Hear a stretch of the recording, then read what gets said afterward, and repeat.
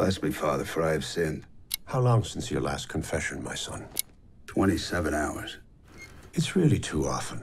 You're not that bad. Welcome to another episode of Film Fanatics presented by St. George News. I'm film critic Bruce Bennett with madaboutmovies.org. And I'm Adam Mast with Cinemast.net. Well, today, Adam, we're going to be talking about Hail Caesar. Now, this film was written and directed by a couple of filmmakers we love, Joel and Ethan Coen. All hail the Coen brothers. And it kind of harks back to the golden age of Hollywood, the late 50s, early 50s. And it tells the story, a day in the life of a Hollywood studio executive, portrayed by Josh Brolin. And it basically tells about his day and all of the things that he has to fix. Would that it were so simple. Cut. Now, what did you think about the film? Because when I watch the trailer, I think like most people watch the trailer, think this is going to be a screw screwball madcap comedy. It has a little bit of that, but it's more dry than that. Very dry. Yeah. I feel like there are comic moments in it, mm-hmm. and the trailer highlights those. There's some great scenes in here that are very, very funny, but it doesn't have it doesn't connect all of those interesting, fascinating little vignettes for me. Where did they go wrong with Hail Caesar? They didn't. I, I You think liked gonna, it. I absolutely love this Okay, movie. well, I this- loved it. Yeah, I think it's not entertaining enough to be an homage, though it has moments of that. It's not really witty enough to be a parody, and it's not comic enough to be a comedy. Well, it's not going for parody. I mean, clearly this is a satire, but one of the things I so Right. enjoyed about it is even though it's taking pot shots at the movie industry, Mm-hmm. it's also a, a love letter. Obviously, the Coen brothers love Oh, yeah. movies. It saved Yeah. their lives. They've, they've Right. made some of the greatest movies in American I think cinema, it's got as I already 15 minutes of really funny material. There's a scene with Ralph Fiennes where he's trying to get a cowboy uh, actor To say a line to say, you know, would that it were so simple. Simple. Would that it was. Wait, wait, watch my mouth.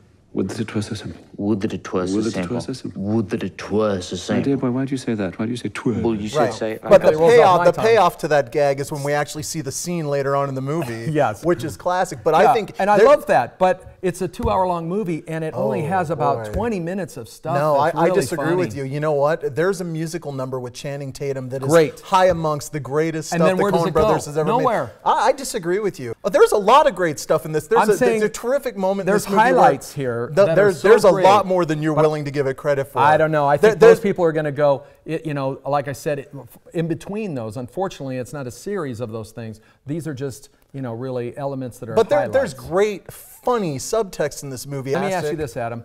This feels a little bit like the Coen brothers being Wes Anderson. Would you agree with that? Well, they've always had that. It's Yeah. always been there. Well, I don't And know because Wes Anderson doesn't go for necessarily the outright laugh. You know, it's more interesting in the de- detail in the subtext, like you said. Right. And this is maybe why I don't like it because I think Wes Anderson is not, you know, generally, you know, accessible, accessible for you, and, maybe. and I'm a big Wes Anderson fan.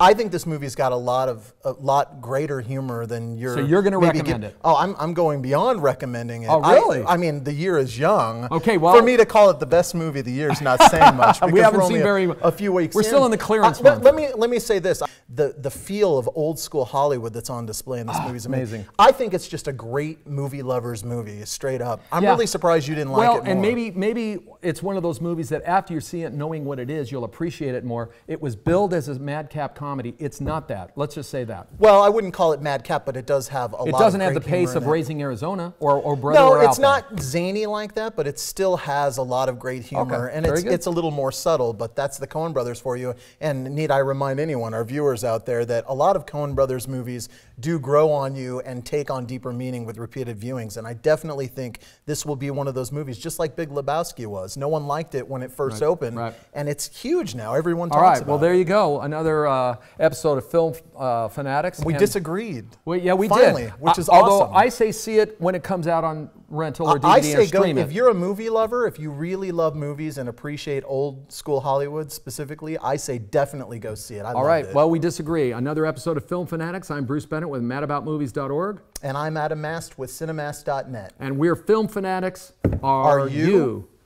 Well, anyway. Wow. Yeah. I, yeah, I really, really like this movie Yeah. a lot. Well, it was a quiet theater I was in, but uh, like I said, there were some things I really loved loved about it. Yeah, thumbs up for me for sure.